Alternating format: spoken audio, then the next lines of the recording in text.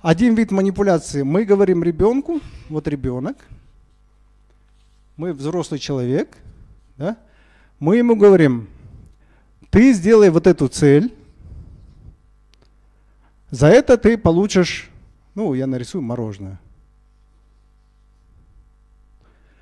Мы говорим, вот толкаем, добейся вот этого, получишь мороженое.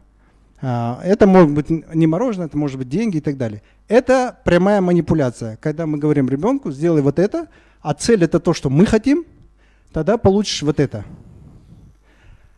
Это называется манипуляция.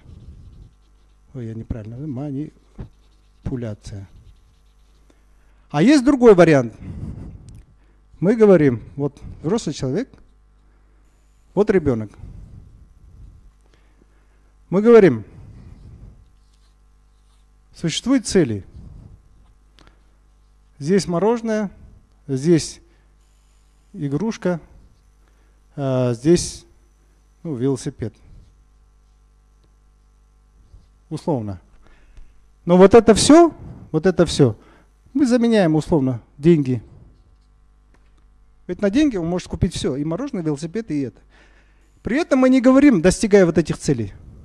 Мы говорим просто, если достигаешь, вот представь, как э, э, надо относиться к этому как э, к природе. То есть мы управляем внутренней мотивацией ребенка путем изменения внешней среды. Мы говорим, смотри, вот здесь мы говорим внешняя мотивация, вот внешняя мотивация. А здесь мы говорим, не толкаем, мы говорим, хочешь, делай, не хочешь, не делай. Но цена такая – в мире что происходит, когда во взрослой жизни? Когда во взрослой жизни происходит, мы почему работаем? Не из-за того, что мы любим нашу работу. Ну, есть люди, которые любят. Большинство же не из-за того, что любят, работают. А большинство просто идут и работают для того, чтобы получить в конце деньги, чтобы на эти деньги купить то, что ему необходимо. Так ведь? Так э, человек занимается вот этим. Но его же никто не заставляет. Ему говорят, ты свободен, ты можешь дворником сейчас, ну, ты можешь работать охранником, но там цена другая. Ты можешь работать ученым, там круто платят, там цена очень высокая. Но ты должен подучить предмет, знать, сдать экзамены. То есть что в нашей жизни происходит? Никто же нас не пушит, не заставляет. Нас заставляют обстоятельства. Нас заставляет внешняя среда. Мы должны питаться, кормить э, свою семью и так далее, и так далее. И нас никто не заставляет. У нас стоит выбор количество целей. И мы говорим, мы не, в данном случае говорим, вот мы за тебя выбрали цель, ты вот эту цель добейся, за это вот это получишь. Нет, мы говорим, слушай, вот здесь начинается истинная свобода. Мы говорим, хочешь достигать, достигай. Не хочешь, не достигай. Хорошо, если ты хочешь достигать, то вот эти цели, если достигнешь вот это, если достигнешь такая-то цена, такая-то цена, а если ты сейчас будешь преследовать свою цель, вот такую вообще, которая не в моих интересах, тогда я как взрослый человек просто говорю, здесь ноль цена. И все, занимайся, тоже не проблема. Тоже не проблема. Если ты хочешь преследовать свою вот эту цель, я тебе просто за это ничего не плачу. И все. Но я не заставляю, не манипулирую, ребенку не говорю, делай что-то. Он делает самостоятельно. И он это делает осознанно. Вот э, что такое свобода? Еще Карл Маркс хорошо сказал. Свобода есть осознанная необходимость. Осознанная необходимость. Без необходимости мы, как человеческие существа, как животные, двигаться не можем. Ни один человек из зоны комфорта по собственной инициативе в долгосрочном периоде не выходит. Он может кратко выскочить и обязательно обратно зайдет. Найдите мне человека, который, а, не имея цели, по собственной инициативе выходит из зоны комфорта. Да никто. Я даже книжки не читаю без необходимости. Теперь вот смотрите.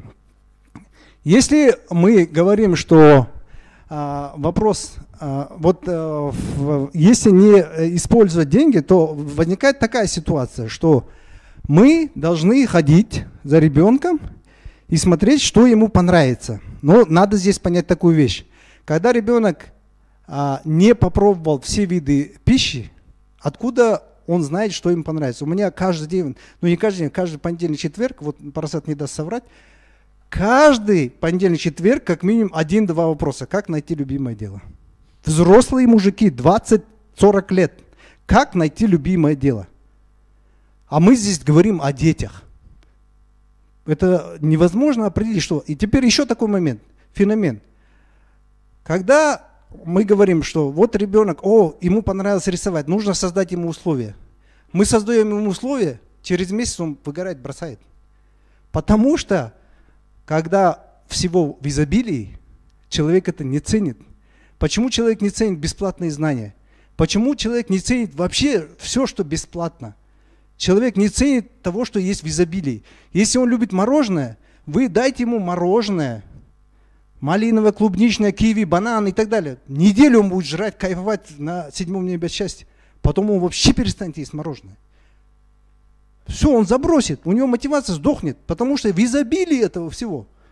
К чему стремиться? Поэтому, когда мы ходим и говорим, вот ребенок хочет рисовать, надо ему создать условия. Создали условия, через месяц он все выгорел. Ходит, мы опять ходим. Вот у него теперь к математике тяга. Мы ему купили счеты, репетитора наняли и так далее, и так далее. Через месяц он опять выгорит.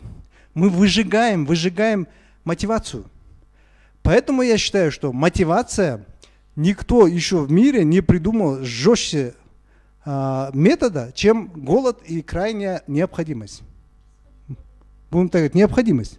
Это а, я не говорю про... Вот смотрите, еще очень важный момент такой что когда человек э, идет, э, еще такое есть, когда э, на пути интереса человек идет, чего-то вот понравилось идет, он похож на парня, э, у которого просто влюбленность, не любовь, а влюбленность.